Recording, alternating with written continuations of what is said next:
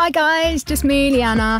I'm just here to give you an update on everything that's been happening. Um, so we went and shot the Do It Again video in India. We had loads and loads of fun doing that.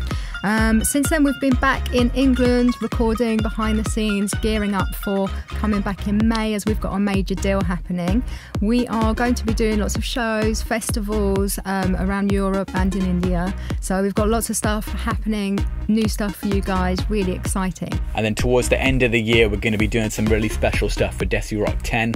That's the 10th anniversary of our album Desi Rock. So we're going to be making a documentary about how we made that album with a lot of the people that were there at that time that helped us to make it. So, you know, that album has meant a lot to us over the years. It's done really well, it's been really successful, and that's kind of where we started with this.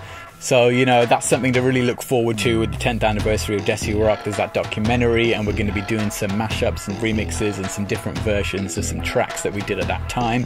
We're going to have a look and see if there's anything we recorded that didn't make the album, and maybe we can make that available for you.